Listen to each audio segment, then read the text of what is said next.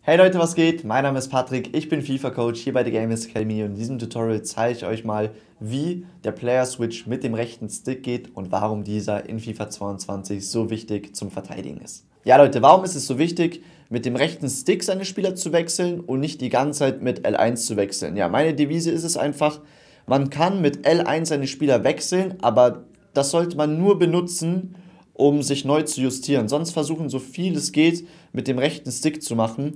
Und ich versuche jetzt mal so gut wie möglich zu erklären, warum es so wichtig ist, mit dem rechten Stick zu wechseln und wie man das am besten übt und dann in-game natürlich auch anwendet.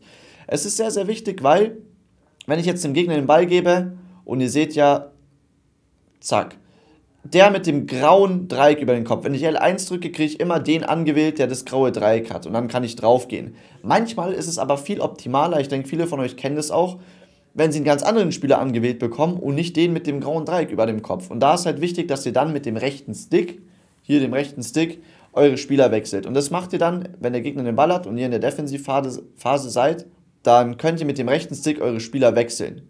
Sprich, wenn ich den rechten Stick nach vorne switche, kriege ich Aguero. Wenn ich nochmal nach links switche, wenn ich zurück switche, kriege ich die 6er. Und das alles mache ich gerade nur mit dem rechten Stick und nicht mit L1.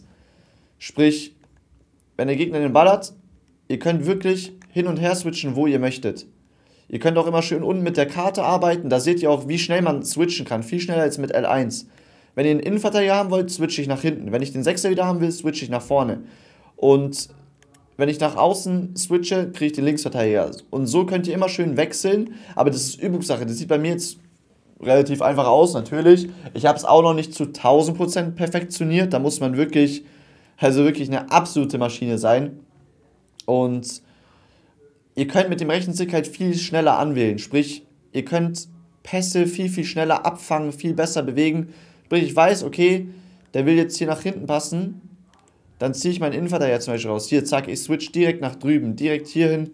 Und manchmal kriegt ihr das mit L1 gar nicht so schnell hin. Sprich mit L1, viele Panic switchen dann, immer mit L1 drücken irgendwas rum, bis sie den richtigen Spieler angewählt haben. Aber bevor sie den richtigen Spieler haben, hier zum Beispiel, die switchen dann immer mit L1 und die wollen den 6er haben, aber jetzt kriege ich den 6er erst angewählt, nach dreimal switchen beispielsweise. Und mit dem rechten Stick, wenn ihr switcht, kriegt ihr ihn direkt angewählt.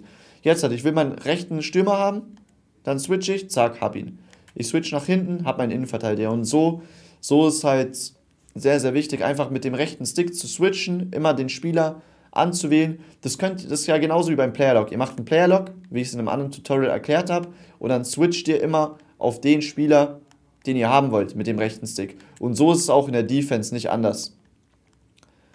Sprich einfach, zack, Gegner hat den Ball, Gegner hat jetzt Abstoß und dann könnt ihr immer schön hier hin und her switchen. Und das übt ihr am besten im Einzelspielermodus oder in Squad Battles, dass ihr da wirklich ein Gefühl dafür bekommt. Arbeitet mit der Karte und switcht mal die ganze Zeit immer zu dem Spieler, den ihr bekommen wollt, mit dem rechten Stick. Und nach und nach bekommt ihr dann immer ein besseres Gefühl dafür und dann könnt ihr immer schön switchen. Und mit manchmal passiert es natürlich mit dem rechten Stick, dass man auch nicht immer den richtigen Spieler erwischt. Dann justiert ihr euch mit L1 neu und switcht dann wieder mit rechts. Ja, und so fängt dann immer schön die Bälle ab und könnt einfach viel, viel besser verteidigen. Ihr werdet merken, umso mehr mit dem rechten Stick switcht, umso besser könnt ihr in Spielsituationen die Bälle abfangen, definitiv.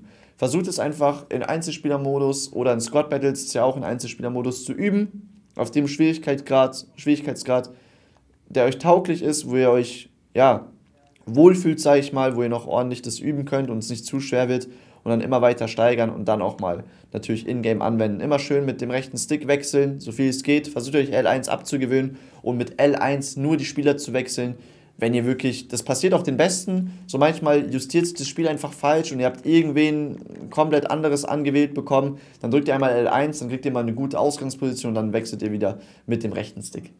Ja Leute, und so funktioniert der Player Switch mit dem rechten Stick. Versucht es euch wirklich in den Einzelspielerpartien anzueignen. Am Anfang wird es euch bestimmt auch online, wenn ihr es dann langsam probiert, auch online zu versuchen, ein bisschen schwer fallen, aber ihr werdet sehen, umso mehr ihr das trainiert und umso mehr ihr das macht, wird euch das Verteidigen einfacher fallen und ihr könnt eure Spieler viel, viel präziser in der Defensive anwählen. Und sobald ihr das mal einigermaßen gemeistert habt, werdet ihr sehen, ihr werdet viel, viel weniger Tore kassieren und könnt eure Spieler viel besser anwählen und viel besser verteidigen.